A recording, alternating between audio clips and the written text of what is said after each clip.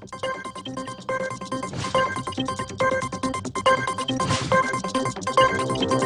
you.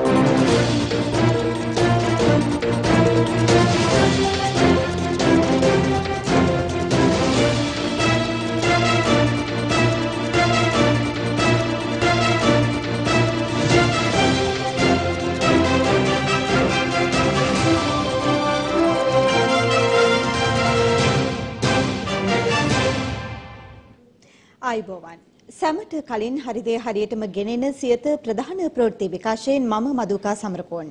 මුලින්ම අවධානය යොමු කරමු ප්‍රධාන ප්‍රවෘත්ති සිරස්තල වෙත. මාලිගාවත්තේ මුදල් බෙදාදීමකදී සිදු වූ තෙරපීමකින් කාන්තාවන් තිදෙනෙකු මරුට. නව දෙනෙකුට තුවාල. මුදල් බෙදූ ව්‍යාපාරිකය ඇතුළු හය දෙනෙකු අත්අඩංගුවට. ආන්දෝලනාත්මක හෝමාගම ජාත්‍යන්තර ක්‍රිකට් ක්‍රීඩාංගණය ඉදිකිරීම අගමැති තාවකාලිකව නතර කරයි. මැතිවරණ දිනය වෙනස් කළ හෝ කල් දැමූ පමණින් පාර්ලිමේන්තුව විසිරවා හරිමින් ජනාධිපතිවරයා නිකුත් කළ ගැසට් නිවේදනය බල රහිත වන්නේ නැහැ. ජනාධිපති නීතිච්ච රොමේෂ් සිල්වා මහතා අධිකරණය හමුවේ කියයි. මැතිවරණ කොමිසමට ගරු කරමින් ජූනි මස පන්දහස දීම නතර කළා. රජය කියයි. පන්දහසක් නෙවෙයි විසිදාහක් දෙන්න අවස්ථාව දෙන්නම්. පාර්ලිමේන්තුව රැස් කරන්න. සජිත් රජයට කියයි. එචාපෙන් සමගි ජනබලවේගයට ඇරයුමක්. කොරෝනා වාර්තා වූ ප්‍රථම දිනයේ සිට දිනක් ඇතුළත ලොව වැඩිම රෝගින් පිරිසක් වාර්තා වූ දිනය බවට ගත වූ පැය විසි හතර පත්වෙයි. ශ්‍රී ලංකාවේ කාලගුණේ යහපත් වෙද්දී ඉන්දියාවේ සහ බංග්ලාදේශයේ කාලගුණය දරුණු ලෙස අයහපත් වෙයි. දේශීය පුවත් වෙතයි මුලින්ම අවධානය. මාලිගාවත්ත ජුම්මා මස්ජිද් සිදු වූ තෙරපීමකින් කාන්තාවන් තිදෙනෙකු මියගොස් තවත් පුද්ගලයන් අට දෙනෙකු තුවාල ලබා තිබෙනවා. අද දහවල් කොළඹ මාලිකාවත්ත පොලිස් වසමේ ජුම්මා මස්ජිද් මාර්ගයේ නිවසක් අසල ගොඩනැගිල්ලක සාමාන්‍ය ජනතාව වෙත මුදල් බෙදාදීමේ වැඩසටහනක් ක්‍රියාත්මක කර තිබෙනවා. මෙලෙස මුදල් බෙදාදීම සිදු කර ඇත්තේ දෙහිවල ප්‍රදේශයේ ව්‍යාපාරිකයෙකු විසින්. ඔහු විසින් ප්‍රදේශයේ ජනතාව වෙත මුදල් බෙදාදීම සඳහා තෝරාගෙන තිබූ එම ගොඩනැගිල්ල ඉතා කුඩා එකක් බවත් එම ගොඩනැගිල්ල තුළට විශාල පිරිසක් එක් රැස්වීමත් සමගම ඇති වූ තෙරපීමක් සමග කාන්තාවන් තිදෙනෙකු ඒ තුළ මිය ගොස් තිබෙනවා.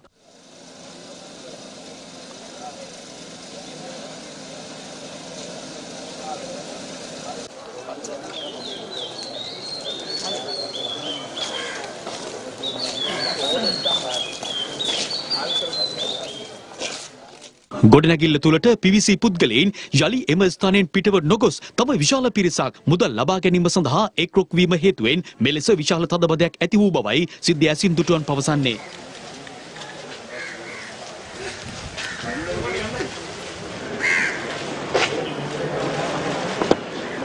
උදේ ආවා මේට ආවද කියලා දන්නේ.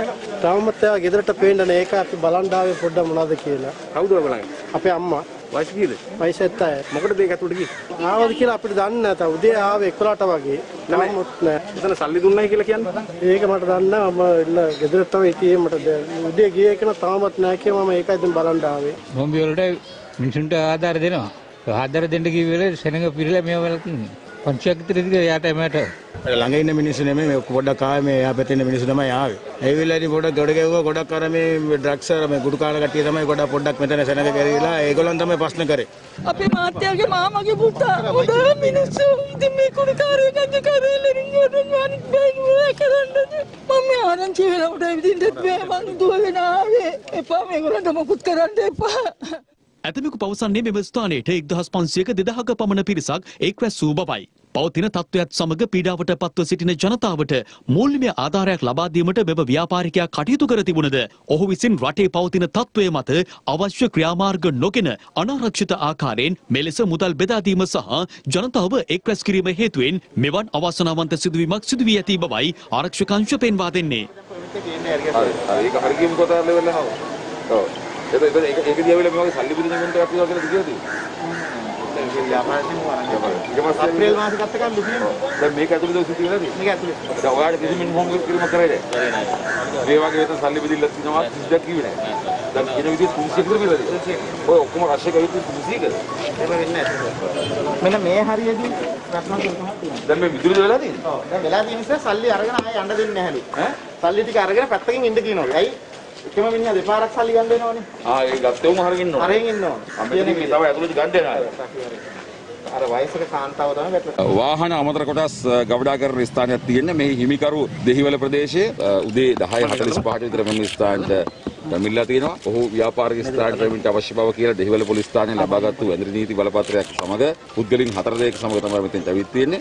ඇවිල්ලා ඔහු ජනතාවට මුදල් බෙදා දීමක් කරලා තියෙනවා මේ ප්‍රදේශීය අයට. රාමසාමි උත්සවයට අ, අදාළ වෙන්න ඕන සම්ප්‍රදායට අනුව කරලා තියෙනවා. එයන මුදල් බෙදා දීන අවස්ථාවේදී ආයතනය ඇතුලේ වෙලා තියෙන තෙරපීමක් අනුව කාන්තාව තුන් දෙනෙක් මේ වෙද්දී මිය ගිහින් තිනවා. ඒ අය වයස අවුරුදු 65ට වගේ වැඩි අය බව තමයි දැන්ට වාර්තා වෙලා තියෙන්නේ. තවත් අට දෙනෙක් තුවාල වෙලා රෝහල්ගත වෙලා ප්‍රතිකාර ලබන බව අ, වාර්තා වෙලා තියෙනවා. මෙම ස්ථානයේ මේ විදිහේ ජනතාව ඒකරාශී වීමක් හෝ මුදල් බෙදා දීමක් වෙන බවට මාලිගාවත්ත පොලිස් ස්ථානයට කිසිම දැනුම් දීමක් කරලා නැහැ. ඒ අනුව ඔබට පේනවා ඇති මේ ස්ථානයේ මේ වහපු දොර ඇතුලේ තමයි මේ සියල්ලම වෙලා තියෙන්නේ. මේ මුදල් රැගෙන ආපු ඒ ව්‍යාපාරිකයා ඇතුළු 6 දෙනෙක් පොලිසිය විසින් අත්අඩංගුවට අරන් තිනවා මේ වෙද්දී මේ විදිහට නොසලකිලිමත් ලෙස ක්‍රියා කරලා මේ අයගේ මරණය සිදුවීමට අදාළව සහ මේ කොරෝනා වෛරසය මේ වගේ ආසාදජ වෙන්න පුළුවන් තත්ත්වයක් තියෙද්දී මේ වගේ ජනතාව ඒකරාශී කරලා මේ වගේ කටයුත්තක් දැඩි නොසලකිල්ලෙන් හා සෞඛ්‍ය උපදෙස් නොසලකා හැරලා ක්‍රියා කිරීම සම්බන්ධයෙන් නිරෝධායන පන්තියටත් ඒ අයට විරුද්ධව දන්නේ සංග්‍රහය අනිකුත් වැරදි සම්බන්ධනොත් අධිකරණ ක්‍රියාමාර්ග ගැනීමට කටයුතු කරනවා.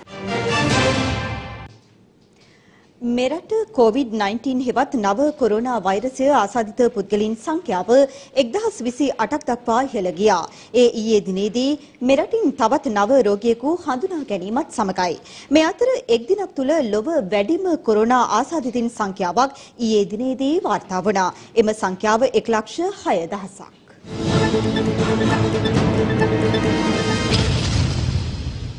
චීනයේ හුබේ පළාතේ වූහන් නගරයෙන් ආරම්භ වූ කොවිඩ්-19 හෙවත් නව කොරෝනා වෛරසයේ ආරම්භය සිදු වූයේ පසුගිය දෙසැම්බර් මාසයි. චීනෙන් ආරම්භ වූ නව කොරෝනා වෛරසයට සිව් මසක් ගතවන විට ලොව පුරා රටවල් 218කට වෛරසයෙන් බලපෑම් එල්ල වී තිබෙනවා. COVID-19 හෙවත් නව කොරෝනා වෛරසය හේතුවෙන් එක් දිනක් තුළ වාර්තා වූ ලොව වැඩිම කොරෝනා ආසාදිතින් සංඛ්‍යාවක් වාර්තා වූයේ ඊයේ දිනෙන්. ඒ අනුව ගත වූ පැය 24ක කාලය තුළ ලොව පුරා නව කොරෝනා වෛරස ආසාදිත පුද්ගලයන් 1 ලක්ෂ 6000ක් හඳුනාගත් බව විදෙස් මාධ්‍ය වාර්තා කර තිබෙනවා. ඒ අනුව ලොව සමස්ත ආසාදිතයින් සංඛ්‍යාව 50 ලක්ෂ 45109ක් ලෙස දැක්වෙන අතර මරණ සංඛ්‍යාව 3 ලක්ෂ 29000 ඉක්මවා තිබෙනවා. COVID-19 වෛරසය හේතුවෙන් වැඩිම ආසාදිතයින් සංඛ්‍යාවක් වාර්තා වන ඇමරිකා එක්සත් ජනපදයේ මෙවන විට ආසාදිතයින් 15 ලක්ෂ 94039 දෙනෙකු වාර්තා වනවා. එරට සිදු වී ඇති මරණ සංඛ්‍යාව 94941ක්.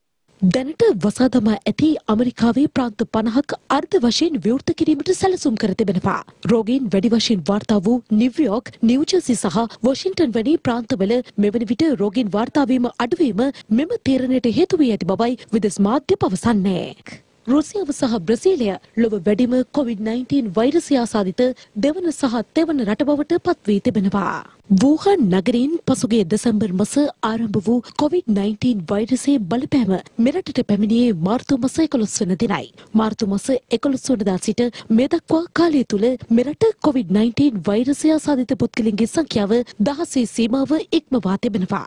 වෛරසය ආසාදනය වීම හේතුවෙන් පුද්ගලයන් 415 දෙනෙකු තව දුරටත් රෝහල්වල වෛද්‍ය අධීක්ෂණය යටතේ පසුවනවා. වෛරසය ආසාදනය වී රෝහලට ඇතුළත් කෙරුණු තවත් පුද්ගලයන් 20 දෙනෙකු අද සම්පූර්ණ සුවය ලබා රෝහල් වලින් පිටව ගියා.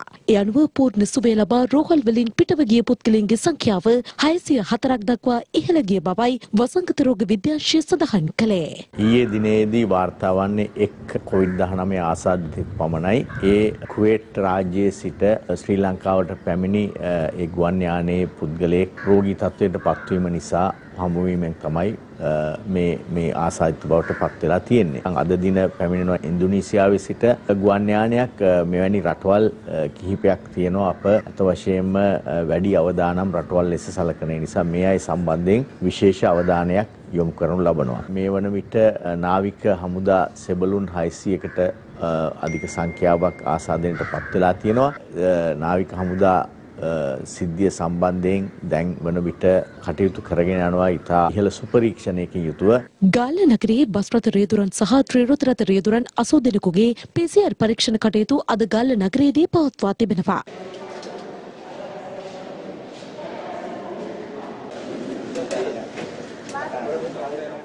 හික්කඩුව රජේරුහලේ කාර්ය මණ්ඩලය විසින් මෙම PCR පරීක්ෂණ කටයුතු සිදු කර ඇති බවයි අප වාර්තාකරු ප්‍රකාශ කළේ. බූස නාවික හමුදා කඳවුරේ ස්ථාපිත නිරෝධායන මධ්‍යස්ථානය තුළ සාර්ථකව නිරෝධායන කටයුතු අවසන් කරන ලද තවත් පුද්ගලයන් දස දෙනෙකු අදේම මධ්‍යස්ථානයෙන් පිටත්ව ගියා.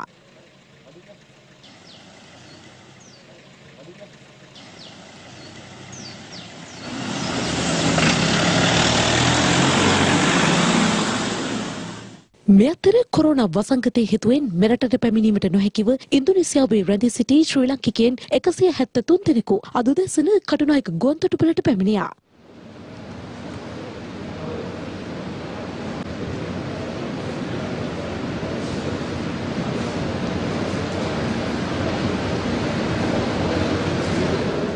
අද උදැසන අටට පමණ ඉන්දුනීසියාවේ ජකර්තාගනුවර සිට මෙම ගුවන් මගින් පිරිස මෙරටට පැමිණ තිබෙනවා. විෂබීජ හරණ කටයුතු වලින් අනතුරුව මෙම පිරිස නිරතහයන මධ්‍යස්ථාන වෙත පිටත් කළ බවයි අප වාර්තාකරු ප්‍රකාශ කළේ.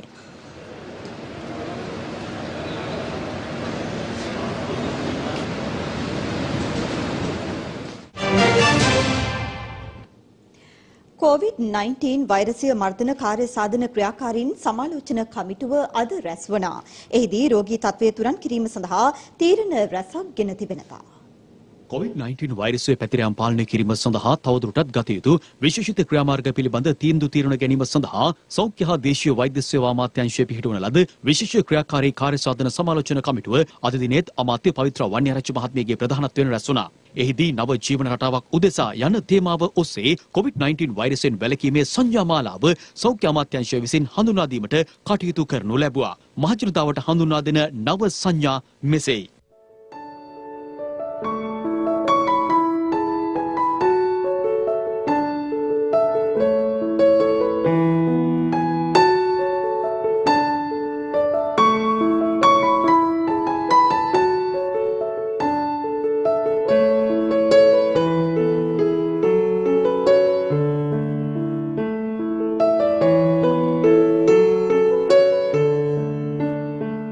දිවයින පුරා ජනතාව ගැවසෙන පොදු ස්ථාන බස් නැවතුම් පොළ සහ බස් නැවතුම් ස්ථාන සුපිරි වෙළඳසැල් සහ කාර්යාල කේන්ද්‍ර කරගනිමින් සංඥා ප්‍රදර්ශනය කිරීමට අවශ්‍ය කටයුතු යෙදීමට සෞඛ්‍ය අමාත්‍යාංශය මෙහිදී තීරණය කර තිබෙනවා. මීට අමතරව COVID-19 හේතුවෙන් අවශ්‍ය අවස්ථාවන්හිදී මොහුණු ආවරණ පැළඳීම පිළිබඳවද නිර්දේශන් සකස් කිරීමටත් සෞඛ්‍ය උපදෙස් මත පොදු ස්ථාන විසුවීජ හරණ වැඩපිළිවෙල සිදු කිරීමටත් PCR පරීක්ෂණ සිදු කිරීමේදී අවශ්‍ය වන පුද්ගල ආරක්ෂිත ඇඳුම් හා වෛද්‍ය උපකරණ මෙතෙක් හිඟයකින් තොරව පවත්වාගෙන ආ වැඩපිළිවෙල ඉදිරියටත් පවත්වාගෙන යාමටත් එම වෛද්‍ය උපකරණ ලබා ගැනීමට PCR පරීක්ෂණ සිදු කරන ආයතනවල අධ්‍යක්ෂවරුන්ට අවශ්‍ය අවසර ලබා දීමටද මෙහිදී තීරණය වී තිබෙනවා. මේ අතර ශ්‍රී ලංකා සෞඛ්‍ය අධ්‍යාපන නිලධාරීන්ගේ සංගමය නිවේදනයක් නිකුත් කරමින් පවසන්නේ ශ්‍රී ලංකාව තුළ COVID-19 ආසදන ව්‍යාප්තිය මේ වන විට යම් සාධනීය මට්ටමකට පාලනය වී තිබුණත් රෝගය තුරන් වී නොමැති පසුබිමක අන්තර් පළාත් මගී ප්‍රවාහන සේවා ආරම්භ කිරීමෙන් පසුව නිසි සෞඛ්‍ය උපදෙස් පිළි නොපදින්නේ නම් සංචරණය සමග යලි COVID-19 රෝග අවදානම ඉහළ යා හැකි බවයි. පොදු ප්‍රවාහන සේවා භාවිතා කිරීමේදී ඉතා සැලකිලිමත් විය යුතු බවත් අන්තර් පළාත් ප්‍රවාහන සේවා ආරම්භ වුවත් අත්‍යවශ්‍ය කරුණකට හැර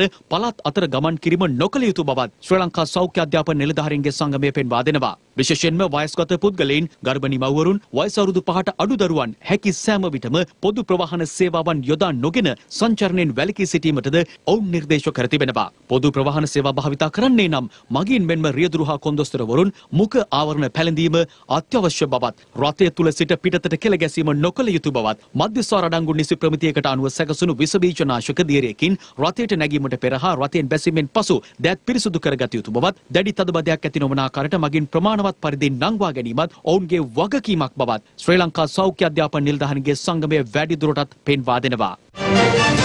ජනාධිපතිවරයා විසින් පාර්ලිමේන්තුව විසිරුවා හරිමින් නිකුත් කර තිබෙන ගැසට් නිවේදනය බල රහිත කිරීමේ නියෝගයක් නිකුත් කරන ලෙස ඉල්ලා එක්සත් ජාතික පක්ෂය විසින්ද ශ්‍රේෂ්ඨාධිකරණයට මූලික අයිතිවාසිකම් පෙත්සමක් ඉදිරිපත් කර තිබෙනවා. ඒ එක්සත් ජාතික පක්ෂ මහලේකම් අකිල විරාජ්කාරීව සම්මහතා විසින්. මේ අතර මැතිවරණ දිනය වෙනස් කළ හෝ කල් දෙමූ පමණින් පාර්ලිමේන්තුව විසිරුවා හරිමින් ජනාධිපතිවරයා නිකුත් කළ ගැසට් නිවේදනය බල රහිත වීමක් සිදු නොවන බව ජනාධිපති ලේකම් පී.බී. ජයසුන්දර මහතා වෙනුවෙන් පෙනී සිටි ජනාධිපති නීතිඥ රොමේෂ් ද සිල්වා මහතා පවසනවා. ඒ අද මැතිවරණයේ පැවැත්වීම අභියෝගයට ලක් කරමින් ඉදිරිපත් වී ඇති මූලික අයිතිවාසිකම් පෙත්සම් සිව්වන දිනටත් ශ්‍රේෂ්ඨාධිකරණයේදී කැඳ වූ අවස්ථාවේදී. ජූනි මාස 20 වනදා මහමැතිවරණයේ පැවැත්වීම අභියෝගයට ලක් කරමින් ගොනු කර තිබෙන මූලික අයිතිවාසිකම් පෙත්සම් අද කැඳවනු ලැබූ අවස්ථාවේදී එහි වග උත්තරකරුවෙකු ලෙස නම් කර සිටින ජනාධිපති ලේකම් පී.බී. ජයසුන්දර මහතා වෙනුවෙන් පෙනී සිටි ජනාධිපති නීතිඥ රොමේෂ් ද සිල්වා මහතා ප්‍රථමයෙන් කරුණු දක්වනු ලැබුවා. ජනාධිපති නීතිච්ච රොමේෂ් ද සිල්වා මහතා අවධාරණය කළේ පාර්ලිමේන්තුව විසිරුවා හැරීමේ ගැසට් නිවේදනය තුලින් මහ මැතිවරණය පැවැත්වෙන දිනය ජනාධිපතිවරයා විසින් නිවේදනය කළත් පාර්ලිමේන්තු මැතිවරණ පනතේ විසි හතර දෙක වගන්තිය යටතේ එම මැතිවරණ දිනය වෙනස් කිරීමට හෝ කල් දැමීමට ස්වාධීන මැතිවරණ කොමිසමට බලය හිමි වන බවයි. එසේ නියම කරන දිනට මැතිවරණය නොපවත්වා එය කල් දැමීම තුලින් පාර්ලිමේන්තුව විසිරුවා හරිමින් ජනාධිපතිවරයා විසින් නිකුත් කළ ගැසට් නිවේදනය බල රහිත වීමක් සිදු නොවන බවද ජනාධිපති නීතිච්චවරයා අධිකරණය හමු හමුවේ පෙන්වා දුන්නා. මැතිවරණය පැවැත්වීම ප්‍රමාද වී තිබෙන්නේ මැතිවරණ කොමිසමේ ක්‍රියාකාරීත්වයෙන් නිසා බව පෙන්වා දුන් ජනාධිපති නීතිච්ච රොමේෂ් ද සිල්වා මහතා මැතිවරණය පැවැත්වීම පමා කිරීම තුලින් ජනතාවගේ සර්වජන ඡන්ද අයිතිය දිගින් දිගටම උල්ලංඝනය වීමක් සිදුවන බවටද චෝදනා කළා. මැතිවරණය පැවැත්විය හැකි බවට සෞඛ්‍යංශ වලින් කොළ එලියක් දැල්වීමෙන් පසුව එය පවත්වන බවට මැතිවරණ කොමිසමේ සමාජිකින් ඊයේ කරුණු දක්වා තිබුණා. එහෙත් වර්තමානයේ නාම යෝජනා බහරගෙන අවසන් කර ඇති නිසා මාස එකහමාරක් වැනි කාලයක් තුළ මැතිවරණයක් පැවැත්වීමට කිරීමට හැකියාවක් තිබෙන බව පෙන්වා දුන් ජනාධිපති නීතිඥ රොමේෂ් ද සිල්වා මහතා ඒ සඳහා මැතිවරණ කොමිසම දින 60ක් හෝ දින 80ක් ඉල්ලා සිටීම ගැටලු සහගත බවද ප්‍රකාශ කළා. නියමිත පරිදි මැතිවරණය පැවැත්වීමට මැතිවරණ කොමිසම ක්‍රියා නොකිරීම නිසා මෙම සංකීර්ණ තත්ත්වය උද්ගත වී තිබෙන බව පෙන්වා දුන් ජනාධිපති නීතිඥවරයා මෙම අර්බුදයට මැතිවරණ කොමිසම සම්පූර්ණයෙන් වගකිය යුතු බවද අවධාරණය කළා. වැඩිදුරටත් අධිකරණයේ හමුවේ කරුණු දැක්වූ ජනාධිපති නීතිඥ රොමේෂ් ද සිල්වා මහතා මැතිවරණ කොමිසමේ සමාජිකින් දෙදෙනෙකු එක් අදහසකුත් තවත් සමාජිකයෙකු ඊට වඩා විකල්ප අදහසකුත් ඊයේ දින අධිකරණයේ හමුවේ ඉදිරිපත් කිරීම නිසා මෙම නඩුකරය තුළ සංකීර්ණත්වයක් නිර්මාණය කර තිබූ බව කියා සිටි අතර මෙවැනි කොමසාරිස්වරුන්ගෙන් සමන්විත කොමිසමක් ස්වාධීන කොමිසමක් වන්නේ කෙසේදැයි ප්‍රශ්න කර සිටියා. පාර්ලිමේන්තුව විසිරුව හැරීමෙන් පසුව කතානායක සභානායක විපක්ෂ නායක යන තනතුරු ඇතුළු එහි සියලු කටයුතු අහෝසි වන බව පෙන්වා දුන් ජනාධිපති නීතිචවරයා එසේ මියගිය පාර්ලිමේන්තුවක් යළි කැඳවිය නොහැකි බවයි වැඩිදුරටත් අධිකරණය හමුවේ පෙන්වා දුන්නේ. ඉකුත් අප්‍රේල් මාස 27 වනදා රනිල් වික්‍රමසිංහ සජිත් ප්‍රේමදාස ආර් සම්බන්ධන් සහ රවුෆ් හකීම් යන මහතුරුන් මෙන්ම විපක්ෂයේ නායකින් පිරිසක් ජනාධිපතිවරයා වෙත ලිපියක් යොමු කරමින් විසිරුවා හරින ලද පාර්ලිමේන්තුව වහා කැඳවන ලෙසත් පාර්ලිමේන්තුව තුළ රජය පරාජය කිරීමට තමන් කටයුතු නොකරන බවටත් එහි කරුණු දක්වා තිබූ බවත් ජනාධිපති නීතිච්ච රොමේෂ් ද සිල්වා මහතා සිහිපත් කළා. විසිරුවා හරින ලද පාර්ලිමේන්තුවක් යලි කැඳවිය නොහැකි බවට නීතිමය ප්‍රතිපාදන පවතිද්දී විපක්ෂයේ නායකින් මෙවැනි ඉල්ලීමක් ඉදිරිපත් කිරීම තුළින් පහත් දේශපාලන අවශ්‍යතාවයක් ඉටු කිරීමට උත්සුක වී ඇතැයිද ජනාධිපති නීතිචවරයා චෝදනා කළා. පාර්ලිමේන්තුව මාස තුනකට වැඩි කාලයක් රැස් නොවී සිටිය නොහැකි බවට අනුරු ව්‍යවස්ථාවේ කිසිදු ස්ථානයක සඳහන් වී නොමැති බවයි මෙහිදී ජනාධිපති නීතිච්ච රොමේෂ් ද සිල්වා මහතා පෙන්වා දුන්නේ. රජයේ නිවාඩු දිනවල නාම යෝජනා පත්‍ර බහර ගැනීම නීති විරෝධී ක්‍රියාවක් නොවන බවයි ජනාධිපති නීතිච්ච රොමේෂ් ද සිල්වා මහතා ප්‍රකාශ කළේ. පාර්ලිමේන්තුව අනුමැතියකින් තොරව රජයේ කටයුතු සඳහා ජනාධිපතිවරයා විසින් ඒකාබද්ධ අරමුදලෙන් මුදල් වැය කිරීම සම්බන්ධයෙන් පෙත්සම් වලින් චෝදනා එල්ල කර ඇතැයි සඳහන් කර සිටි ජනාධිපති නීතිච්ච රොමේෂ් සිල්වා මහතා එම චෝදනා පදනම් විරහිත බව ප්‍රකාශ කළා. ආණ්ඩුක්‍රම ව්‍යවස්ථාව අනුව පාර්ලිමේන්තුව විසිරුවා හැරීමෙන් පසුව ඊළඟට නව පාර්ලිමේන්තුවක් පත්වී මාස 3ක කාලයක් ගතවනතුරු ඒකාබද්ධ අරමුදලෙන් මුදල් රජයේ කටයුතු සඳහා වැය කිරීමට ජනාධිපතිවරයාට ව්‍යවස්ථාමය බලය හිමි වී තිබෙන බවයි ජනාධිපති නීතිච්ච රොමේෂ් ද සිල්වා මහතා වැඩිදුරටත් අධිකරණයේ හමුවේ අවධාරණය කළේ. ජූනි මාසේ පළවෙනිදා සෞඛ්‍ය බලධාරීන් මේ වගේ කතාවක් කිව්වොතින් එහෙම අගෝස්තු මාසේ 15 වෙනිදා වෙනකොට තමයි ඡන්දයක් තියන්න පුළුවන්. එතකොට දැන් අපිට ආන්න තියෙන ප්‍රශ්නේ මේකයි. පාර්ලිමේන්තුවක් නැතුව මේ රට යන්න පුළුවන් මාස 3කට පමණයි. පාර්ලිමේන්තුවක් නැතුව යන්න පුළුවන් මාස 3කට පමණයි. දැන් මේ මාස 3 අභිබවා යන්න පුළුවන්ද කියන එක තමයි අද අධිකරණය තීරණය කරන්න තියෙන්නේ. යම් කෙනෙකුට පරණ පාර්ලිමේන්තුව කැඳවීමට අවශ්‍ය නම් හුදෙක්ම එය තමන්ගේ වරප්‍රසාද නැවත ඇති කරවා ගැනීම සඳහා කරන්නා වූ අරගලයක් පමණයි කියන කාරණේ අද අපිට පැහැදිලිව පේන්න තියෙනවා. විශේෂයෙන්ම අද ආණ්ඩුවත් එක්ක ආණ්ඩුවට යම් කොන්දේසි සහිත ආයෝජනයක් කළා නැවත පාර්ලිමේන්තුව කැඳවන්න අපි ආණ්ඩුවට කිසිම විරුද්ධත්වයක් පාන්නේ නැහැ කියන කාරණය තුලම ඒ ඊනියා ලිපිය තුලම අපිට පේන්න තියෙන පැහැදිලිව මේ තියෙන කුප්‍රකට අභිලාෂය.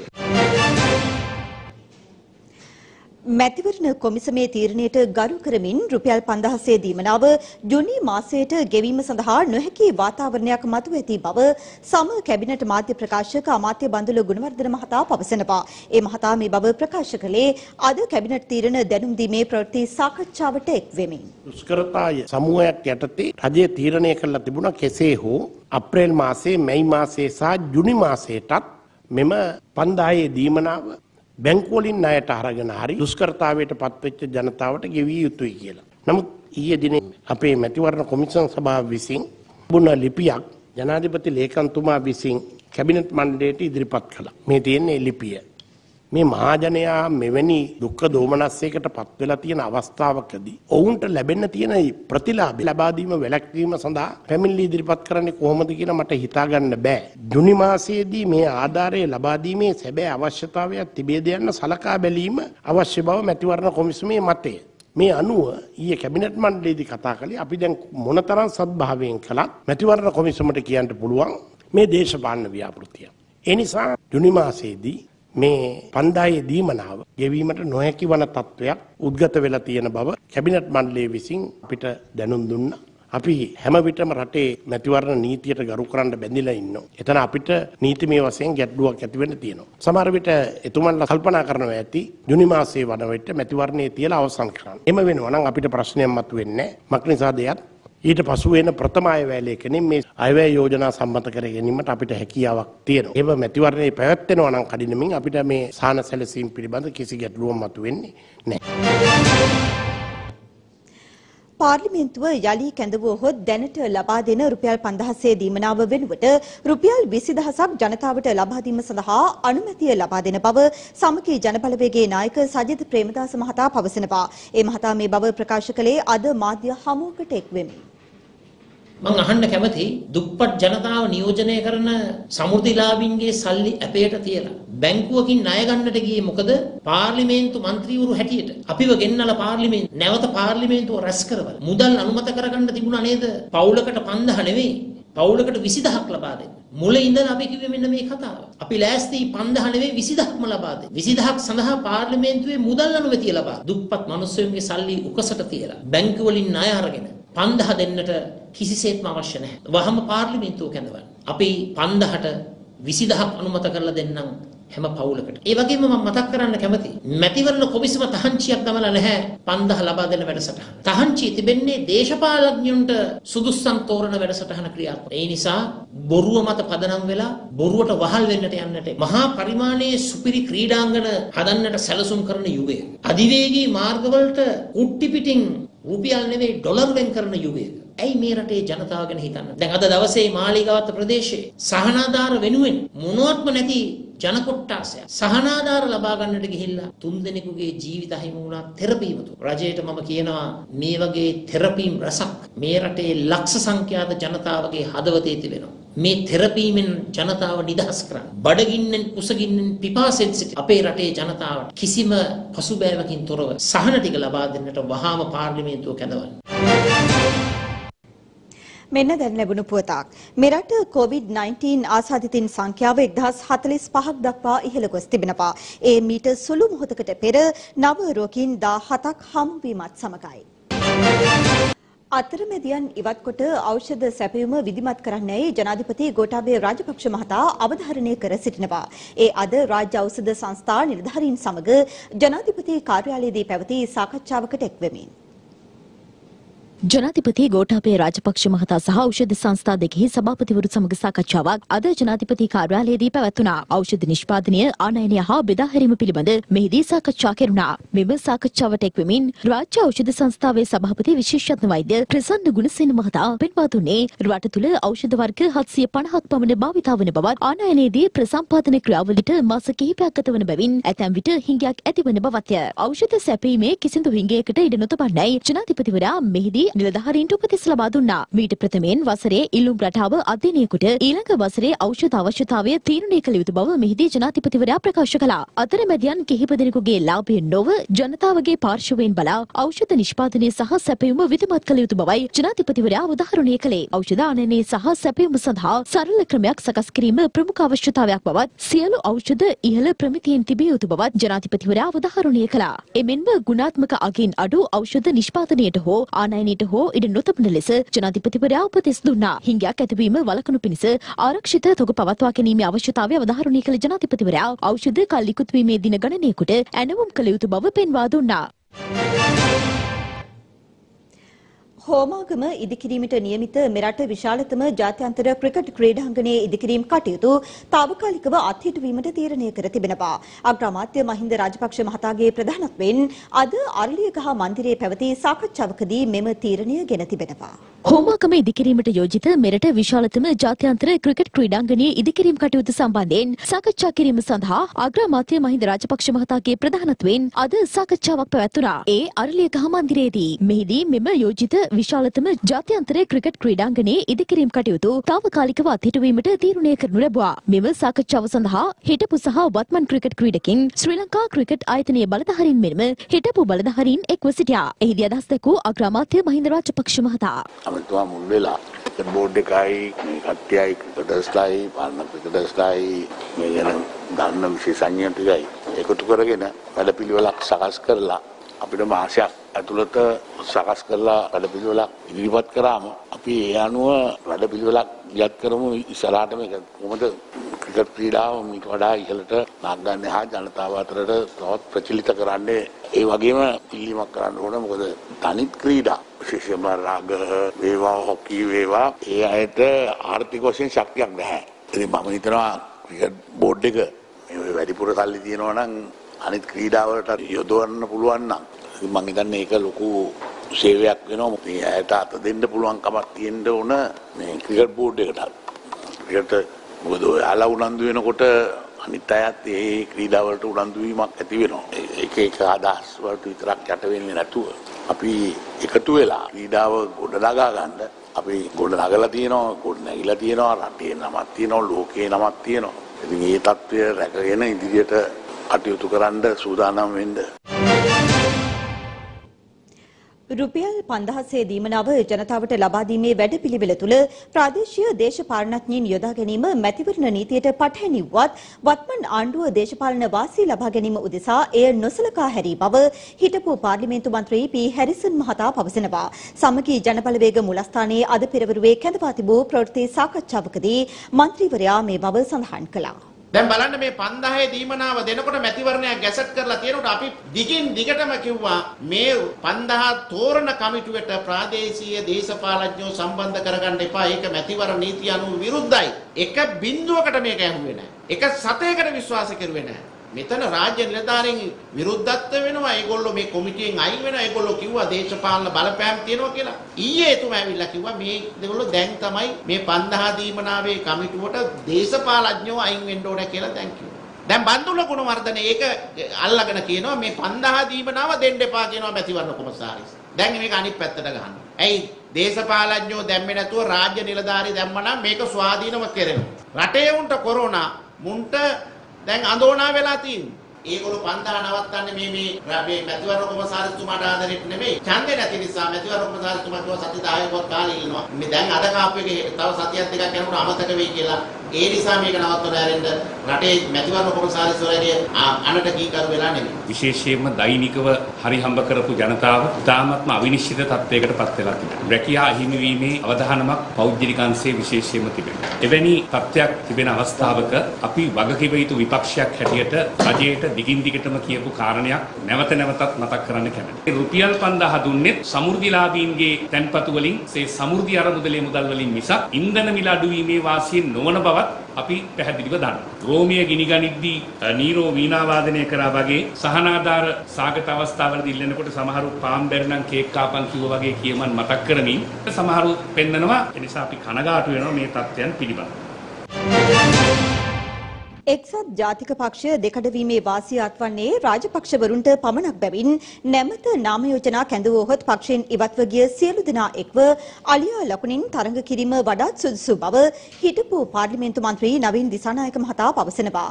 ඒ අද සිරිකොත පක්ෂ මූලස්ථානයේ කැඳවා තිබූ ප්‍රවෘත්ති සාකච්ඡාවකදී. මත් පැහැදිලිව අපේ මතය තමයි ආණ්ඩුවත් එක්ක කිසිසේත්ම අපි එකතු වෙන්නෙත් නැහැ ගනුදෙනු කරන්නෙත් නැහැ ආණ්ඩුවේ සම්පත් අපි බලාපොරොත්තු වෙන්නෙත් නැහැ අපි අපේ රෝල් එක විපක්ෂයක් හැටියට එලෙසම කරනවා. මම කියන්නේ ඒගොල්ලන් ඩීල් එකක් දාලා දෙන ආණ්ඩුවත් එක්ක. ඒකයි විපක්ෂ ናයක කාර්යාලය ඒගොල්ලන්ට දුන්නේ. රජ ප්‍රේමදාස මහත්තයා. අපිට හරි හරියටම කියන්න බෑ නීතිමය තත්ත්වය මොනව වෙයිද කියලා උසාවි නියෝග මොනව වෙයිද කියලා. නමුත් නැවතත් නාම යෝජනා කැඳවනවා නම් එක්සත් ජාතික පක්ෂය එකතු වී තරඟ කර යුතුයි කියන එක තමයි මගේ අවංක මතය. ඉතින් අද දින අපි ඉල්ලීමක් කරනවා දැන් මේ නොමිනේෂන් දීලා මාසෙකමාරකට පසුව අපෙන් කැඩී ගිය බිම්මට්ටමේ පාක්ෂිකයෝ විශාල පිරිසක් අපිත් එක්ක එකතු වෙනවා. අපි ඒ සියලු දෙනාටම නැවතත් ඉතාමත් උණුසුමින් පිළි අරගෙන අනෙකුත් කොටස් වලටත් අපි ආයෝජනා කරනවා අලියා ලකුණෙන් එක්සත් ජාතික පක්ෂය යටතේ එක් වෙන්න කියලා. ශ්‍රී ලංකාවේ පවතින ව්‍යසන තත්ත්වය හමුවේ පෞද්ගලික සහල් මෝල් හිමිකරුවන් රට තුළ සහල් හිඟයක් මතු කිරීමට උත්සාහ දරන බව අමාත්‍ය එස්.එම්. චන්ද්‍රසේන මහතා පවසනවා. ඒ අද කොළඹ පැවති මාධ්‍ය හමුවකට එක්වෙමින්. රජය හැටියට මේ කොරෝනා වෛරසයත් එක්ක පවතින ආර්ථික තත්ත්වය සැලකිල්ලට අරන් ජනතාවට සහනයක් දෙන දෙන්න රජය කටයුතු කරා. විශේෂයෙන්ම සහල් මිල අසීමිත විදිහට ඉහළ යනකොට මේ මිල පාලනය කරන්න රජයක් හැටියට වගකීමක් සුබසාධන රජයක ජනතාව පැත්තෙන් බැලීම ඒ අනුව රුපියල් 90ක සහතික මිල නියම කරනකොට රජය පෞද්ගලික වෙලෙන්දෝ මේ වෙනකොට සහල් හිගයක් මවාපාන්න කටයුතු කරලා තියෙනවා. ඒක තාම අසාධාරණ හැටියට අපි දකිනවා. මම දන්නවා පහුගිය කාලවලදී මේ කන්නට ඉස්සලා කන්නේ දා. රුපියල් 35ට වී ගත්තා 2018 කන්න. 2019 දී නම් අපි සහතික මිලක් කරපු නිසා රුපියල් 48ට 50ට වගේ බෙල දීලා ගත්තා කියන එක මම දන්නවා. ඉතින් අපිට සහල් කිලෝ එකක් නිෂ්පාදනය කරන්න වී කිලෝ 3යි යන්නේ. එතකොට අපි සහල් මාපියාවක් තියෙන්නේ. මේක ඉහළ දාන සහල් මිල. වෙලෙන්දු අද එකතු වෙලා හිගයක් මවාපාමින් කටයුතු කරනවා කියන එක මම ඉතා කනගාටුවෙන් ප්‍රකාශ කරන්න අම්ෆන් සුලිකුණාටුව දෙවෙනෙන් ඉවතට ගමන් කර ඇති අතර පවතින වැසි තත්වයේ අඩුවීමක් අපේක්ෂා කළ හැකි බව කාලගුණ විද්‍යා දෙපාර්තමේන්තුව පවසනවා. මේ වන විට අයහපත් කාලගුණ තත්වය හමුවේ දිවයිනේ පවුල් 4758ක පුද්ගලින් 18430ක් පීඩාවට පත්ව තිබෙනවා. මේ අතර අම්ෆන් සුලිකුණාටුව හේතුවෙන් ඇති වූ අධික වැසි හා සුළං තත්වයෙන් ආපදාවලට ලක්ව ඉන්දියාවේ සහ බංග්ලාදේශයේ පුද්ගලින් 12 දෙනෙකු මියගොස් ඇති බවයි විදේශ මාධ්‍ය වාර්තා කරන්නේ.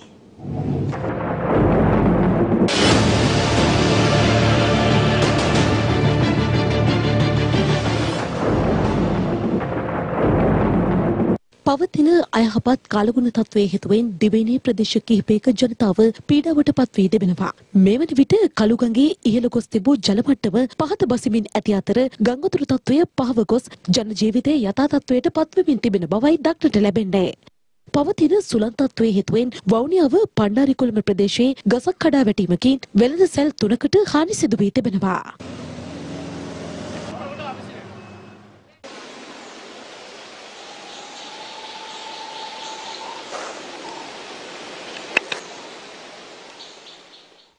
දිවයින ආසන්න පහළ වායුගෝලයේ වර්ධනය වන සුළං අභිසාරී වීමක් හේතුවෙන් ඉදිරි පැය 24 තුළ දිවයිනේ නිරත දෙක කොටසේ වැසි තත්වයේ තරමක වැඩිවීමක් බලාපොරොත්තු වන බව කාලගුණ විද්‍යා දෙපාර්තමේන්තුව පවසනවා. පවතින වැසි තත්වයේ වැඩිවීමක් අපේක්ෂා කළද බස්නාහිර සබරගමුව මධ්‍යම සහ වයඹ පළාත්වලත් ගාල්ල සහ මාතර යන දිස්ත්‍රික්කවලත් තැනින් තැන වැසි හෝ ගිගුරුම් සහිත වැසි ඇති විය හැකි බවයි එම දෙපාර්තමේන්තුව වැඩිදුරටත් සඳහන් කළේ. ඇතැම් ස්ථානවලට මිලිමීටර් 100ක පමණ තද වැසිද ඇති විය හැකි බවයි කාලගුණ විද්‍යා දෙපාර්තමේන්තුව පවසන්නේ. එමෙන්ම අනුරාධපුරය මඩකලපුව යාපනය ත්‍රිකුණාමලය මන්නාරම යන නගර සඳහා ප්‍රධාන වශයෙන් වැසි රහිත කාලගුණ තත්ත්වයක් පවතින අතර කොළඹ ගාල්ල මහනුවර නුවරඑළිය රත්නපුර යන නගර සඳහා වැසි හෝ ගිගුරුම් සහිත වැසි ඇතිවිය හැකි.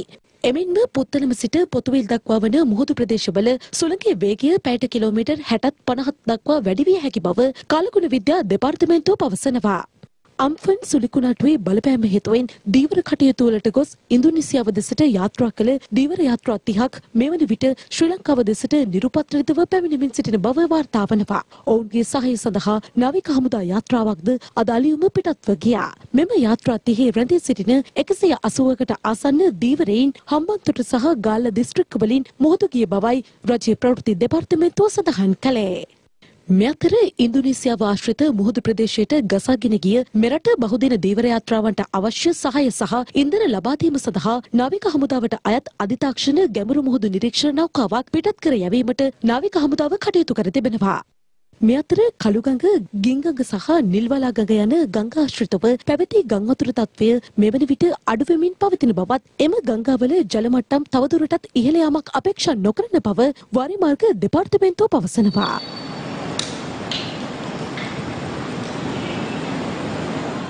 මේ අතර දිස්ත්‍රික්ක දහයක් සඳහා පනවා තිබූ නායම් අවධානම පසුරු දෙකයි තිහ දක්වා යළි දීර්ඝ කළ බව ජාතික ගොඩනැගිලි පර්යේෂණ සංවිධානය පවසනවා.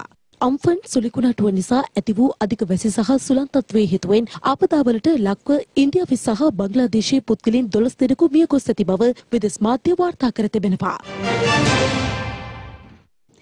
සියත ප්‍රධාන ප්‍රවෘත්ති විකාශය නිමාවට පත්වනවා. තවත් උණුසුම් පුවත් දැන ගැනීම සඳහා පිවිසෙන්න www.siyathanews.lk අපගේ වෙබ් අඩවිය වෙත. සුබ සන්ධ්‍යාවක්.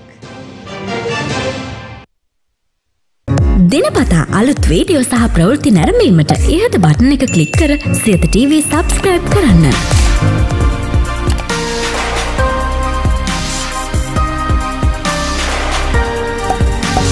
වීඩියෝ ගැන මුලින්ම දැනගන්න මෙම සීනුව ක්ලික් කරන්න.